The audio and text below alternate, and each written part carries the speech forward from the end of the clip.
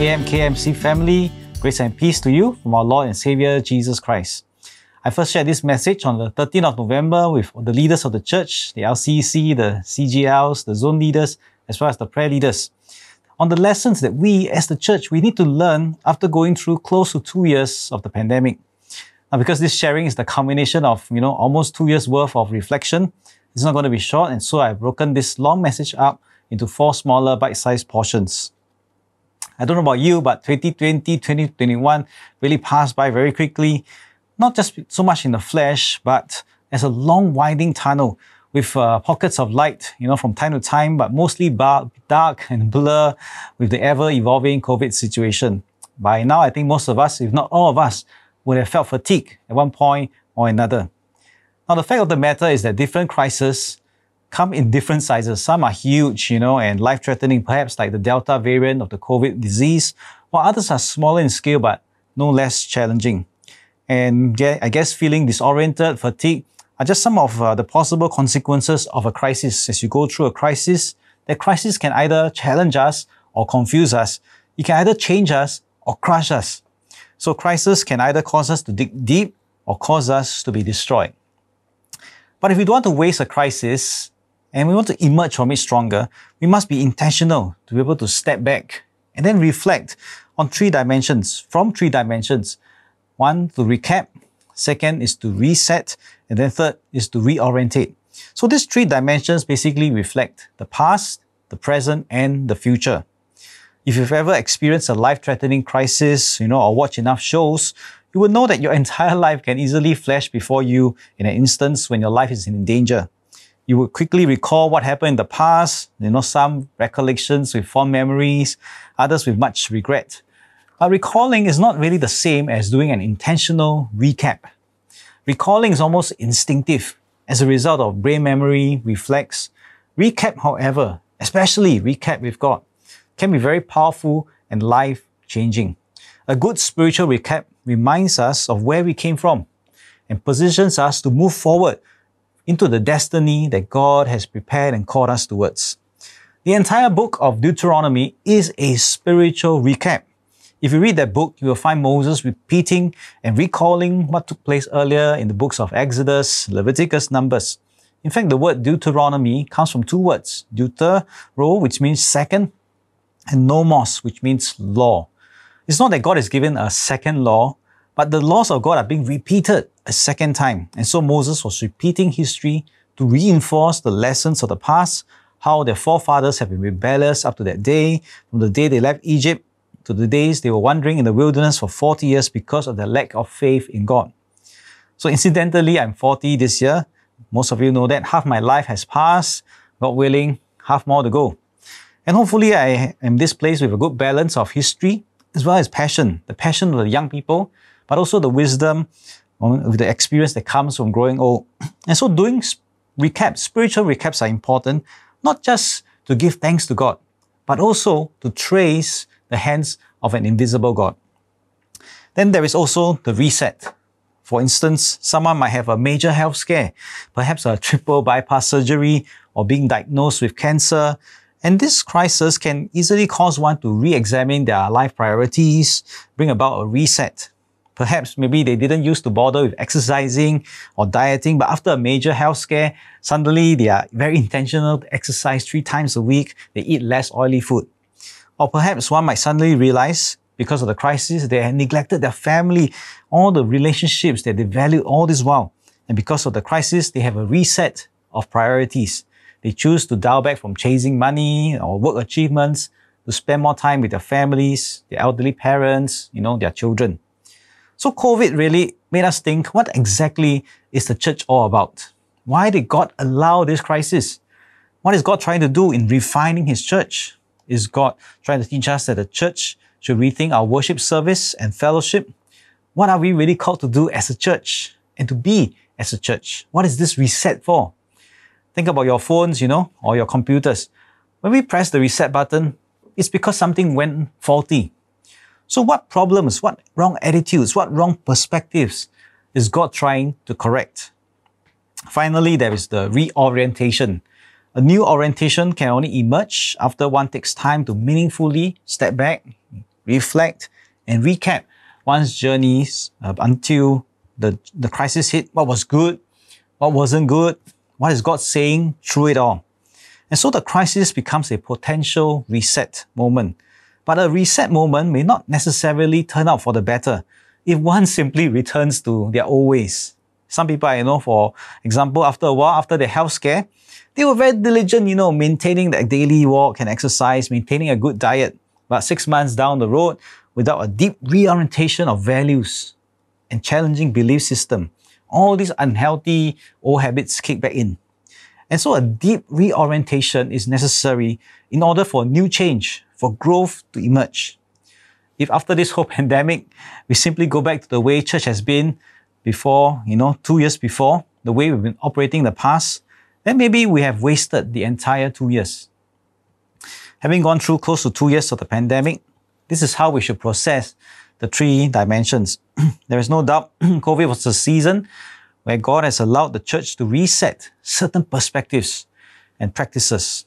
But unless, again, we are intentional to take time to recap, to look at where God is causing us to take a reset, and to reorientate our fundamental beliefs, we would have wasted this crisis. And so, with inputs from members of the LCC from our retreat, I will bring us through what has happened to us as a church in these two years. Some positives and some negatives. Are you ready? So, let's start our recap. Our church theme for this past two years was Home with a Heart. I'll begin by listing the positives and then comment on areas of growth along the way. So, at the church-wide level, at the corporate level, the pulpit series, we cover the books of Romans and First Corinthians. Remember the theme verses? Chapter 13, verse 8 in Romans is no, owe no one anything except to love each other. For the one who loves has fulfilled the law. And First Corinthians 13, verse 8, the initial three, four, three words, love never fails. Now, if you recall very quickly here, the Roman church had racial issues, Jews versus Gentiles, while the Corinthian church had pride issues, spiritually gifted versus those who were not. So both churches were divided. And Paul had to remind both churches of the great importance of loving one another deeply. The class meeting questions, while some may do see them as repetitive, they are really only guides for us to show and to help us to share how we are walking with the Lord, and they are tools for us to grow in Christ-likeness through mutual accountability. I said before that these questions are not cast in stone. The whole spirit of the class meeting really is to open ourselves genuinely and deeply to examine our souls fre- frequently, to make sure that no one, none of us ever take our salvation for granted. That's the whole point of the class meeting. As a church, as many of our cell groups have demonstrated, I've said before, I'm very proud of it, we have been very good in showing pastoral care to one another, especially in times of crisis. I've seen that happen so many times. But let's learn also to go further by showing love and care by caring for each other's souls. Right? Caring for the souls. That's the whole core purpose of the class meeting, watching over one another's souls in love.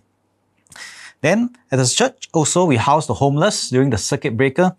And certainly, if you ask me, could we have done more? Sure, I think we should and we could have, but this requires fundamental mindset shifts. In case you're wondering why we stopped, it's because the kindergarten parents may be worried, may be concerned, and it's not just one set of leadership, but three sets of leadership who also must be comfortable. I know it's a matter of trust, a matter of education, and I met the homeless people personally several times. But when two parties, you know, the homeless and the parents, they're not going to meet and talk to each other, they're not going to interact with each other, this vacuum gap will unfortunately breed some kind of suspicion. You know, that's how basic human nature, human fear instincts work. And so, unfortunately, that's the reality we are struggling to deal with. And so, I want to think that we as a church, therefore, should learn to see ourselves that we cannot simply rely on activities organized by the church. There are many times that the church's hands are tied, as in the case of housing the homeless, we had to stop when the kindergarten resumed operations. That we cannot gain access to, the church may not be able to go into certain places. And so, as a church, we need to reframe our idea that church is both an organizational structure as well as individual components. You and me as individuals. There are things that you can do which the church cannot do. There are things that the church can do, you cannot do. But we're not here to compete with each other. We are here to complement each other. So we are the church, but so are you. You are also the church. The next thing we did as a large body, the corporate body, we provided simple care packs to members on stay home notice, quarantine orders, so and so forth. And that's one way I think we have demonstrated care and concern as a church in a very practical way. Two months ago, we even distributed care packs you know, to an entire Ang Mo Kio block made, who was made to undergo mandatory swabbing. And so my hope is that all of us will emulate and develop it further. Again, you don't have to wait for the church to do something, to organize something. My prayer indeed in this season of deep reset is that we will see a place for both the institutional church as well as the individual as part of the church. As an institu- institution, we can do certain things, but as an individual, and all of us who are led by the Lord, we have the potential, and this potential for outreach is limitless.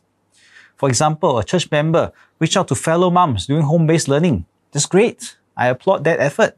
It's something that the church wouldn't have been able to do. But the mom, you know, as a member, as an individual person, felt he wanted to be a home with a heart for fellow moms. Great. That's a commendable effort. So Home with a Heart theme is limited in its impact unless all of us as members begin to live it out wherever God has called us. Then as a church, we also pivoted to online worship service. We set up a temporary IT helpline to help seniors connect. When we first moved completely online during circuit breaker, I also had to remind all of us that church is not simply confined to a building. I encourage all of you to open up your homes to host each other, especially those who maybe not so IT savvy, that you may continue to worship together. And so there the lesson was very simple. God's presence isn't confined only to the church building, to the church location. God's presence is wherever we gather as the people of God. And God's presence, God wants to be with us in our homes.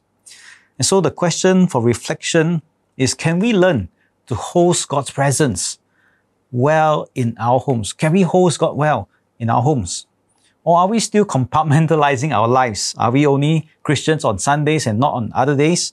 Are we Christians only when we come to church? Are we angels in church but monsters at home? I hope not.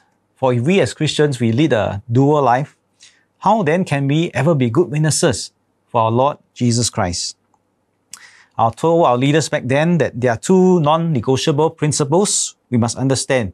And with these two principles, I'll close this first part of the sharing. First is John Maxwell's law of the lid. John Maxwell's law of the lid. As a leader, we cannot lead others beyond the level we are at. If we are a level 4 leader, there's no way we can lead those under us, you know, to go to a level 7 the only way that can happen is we, we learn to expand our leadership capacity, to grow as leaders so that as we grow, the organization and the people under us will also grow along with us. And so, for example, a cell leader whose facilitation skill, level 5 upon 10, right? So the facilitation will only be at level 5. The members of the cell group are unlikely to exceed that, right? Unless the leader himself grows. And so, in the same way, when it comes to facilitating a good class meeting, if the cell leader does not set the bar high to be vulnerable to open up, then there's a certain lid that will happen. Of course, God can remove the lid, but we must all be open and be willing to challenge the status quo. And so I want to challenge all of us, not just the leaders. We all need to learn to lift the lid above our own lives, to keep growing as Christians, as individuals. And that's how the church will grow as well. Second area, as leaders and as Christians, I think we need to understand is integrity, a non-negotiable principle, integrity. Integrity is not just honesty, although it encompasses that dimension. Integrity comes from the root word integer, which means whole, a whole thing. Integrity then means we are always fully ourselves. Regardless of the settings we are we find ourselves in. If we are completely different person at home versus in church and at work, in child cell group or in private settings, that means we have compartmentalized. We are not whole, we are divided, and therefore that means we lack integrity. At the communion table, when the pastors, we say, Christ died to make us whole. It's not just about healing our brokenness, but really to restore our integrity as well. And so to summarize This is perhaps the first and most important lesson from COVID. Worship is not to be confined only to church on Sundays. Worship includes and must include our homes and it must be daily. It means we are the church on Sunday, but so are you. You are the church every single day. And so the focus of this first part is a reflection on self. How are we in our daily walk with the Lord? I know we keep coming back to this question in our class meeting one, one way or another, but this is truly the heart of the matter. The heart of the matter is the matter of the heart. John Wesley designed the class meeting as an accountability structure to make sure no one takes our salvation ever for granted. We all know how prone we are to slip backwards, and that's why we must diligently guard our hearts. That's the love that we ought to show one another, not just the pastoral care when someone is sick, you know, going through a crisis, coming around. That's good, excellent. Let's go one step more to learn to care for one another's souls. And the good works that we do, whether as individuals or as a church, really there are signs, overflowing signs of a redeemed heart. Not to earn us a better standing before God, but simply an overflowing expression that we are truly safe, that good works overflow from us. And so that's the first lesson from COVID.